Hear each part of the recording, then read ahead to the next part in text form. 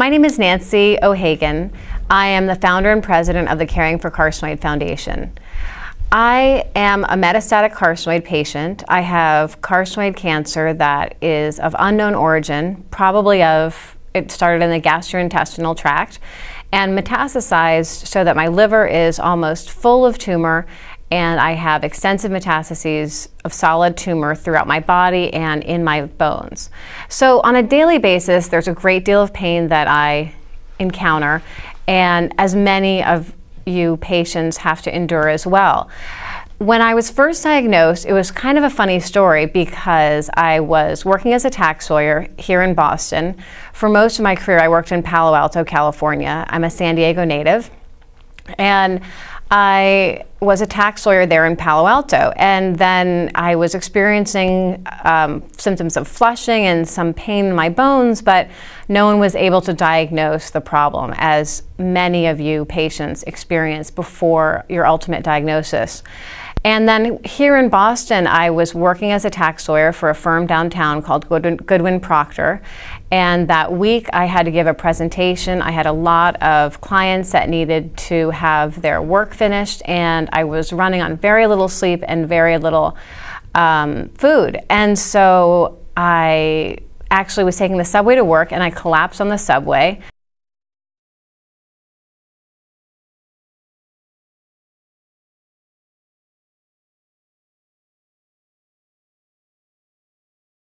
And then my I went home and it was very it was a very upsetting situation as um, I'm sure it is for everyone.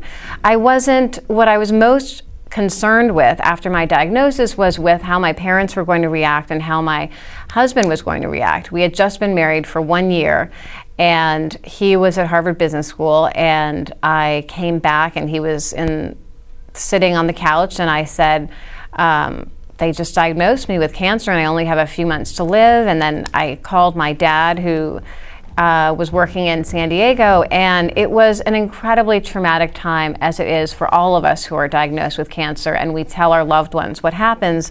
There's just incredible consternation, sorrow, and fear. So, my primary care physician was able to request an appointment for me with an oncologist the very next day.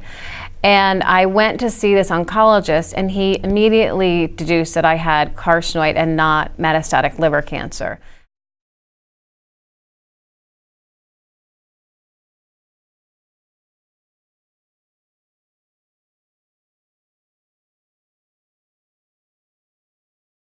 So, after being in a fair amount of shock and trying to deal with the chaos in my family, I was determined with my husband to start the Caring for Carcinoid Foundation. What we felt was that we could assemble a group of top researchers and a terrific board of directors in order to make a push that was very aggressive and continues to be very aggressive to have a structured business plan to achieve our goal, a structured scientific roadmap to achieve our goal. And the goal of the Caring for Carcinoid Foundation, the mission is to discover targeted therapies and an eventual cure for carcinoid cancer. Our vision is to eliminate the suffering of carcinoid patients and related neuroendocrine patients their families, and their caregivers. We devote 100% of our individual donations to scientific research that's devoted to supporting carcinoid and related neuroendocrine tumor research. And in this way, we will, and in others, we will find a cure for this cancer. It's not something that at this point I have so much cancer. A lot of people think that I'm that perhaps this is a quest to find a cure for myself. Unfortunately, I realize that the cancer has metastasized to such an extent in my body that that's impossible. But I believe firmly and I'm dedicated to the goal of accomplishing a cure for all other patients in my lifetime. I hope to see a cure or at least a targeted therapy exist for all carcinoid and hopefully related neuroendocrine tumor patients in my lifetime. And we've assembled a terrific group of scientific advisors to accomplish that. They're world renowned cancer researchers as well as world renowned neuroendocrine tumor researchers.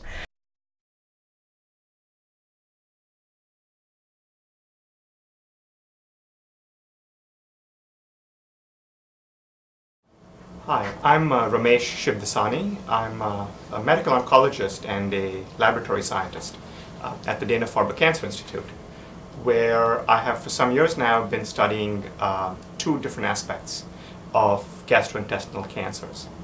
On the one hand, I see patients uh, morning a week uh, to give a second opinion on management of various cancers of the gastrointestinal tract.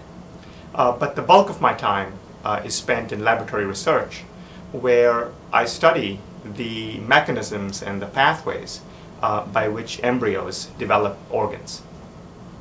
This might sound like something that is remotely connected to cancer, if at all.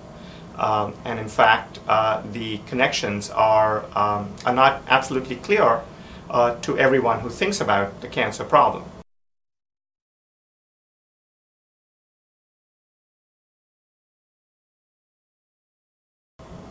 Uh, it turns out that we understand very little about how cells are actually wired together, and even less about how cells uh, come together to form a tissue and how tissues come together to create an organ.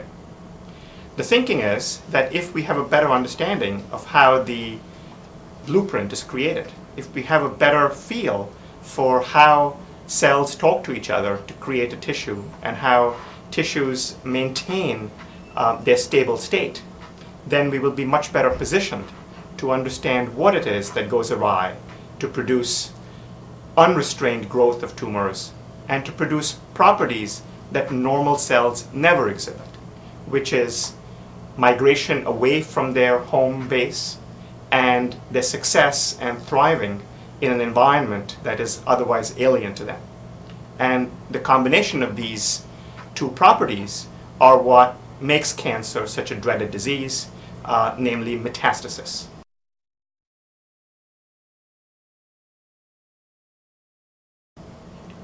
So normally cells are destined to be born in one place and to stay there for the rest of their lives. Cancer cells, very occasionally, will break those rules. They get away from their home base, uh, travel in the bloodstream or in lymphatic channels, and then set up shop in the liver or lungs or bone, which are the most common places for uh, cancers to spread. And it is this that makes cancer a difficult disease to manage uh, because cells that are growing elsewhere um, do not follow simple rules and are much harder to manage, to control, uh, than cells that are localized because in that situation they can be surgically um, removed. But when they've spread, often in large numbers, uh, a surgical approach uh, is practically impossible.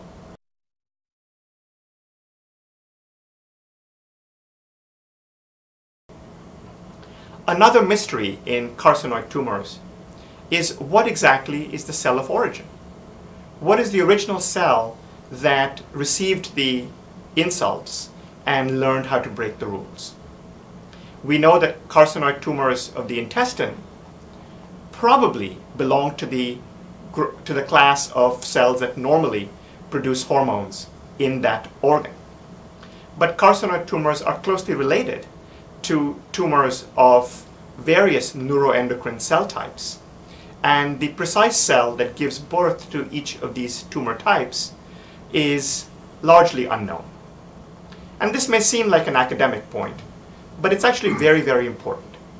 And the reason it's important to know what the cell of origin is, is because different tumors are going to play true to their origins. Cells are going to be largely constructed or largely instructed by the um, by their um, by their in endogenous properties, by the properties that make them who they are to begin with once we understand what it is that a cell, what the basic rules are for that cell,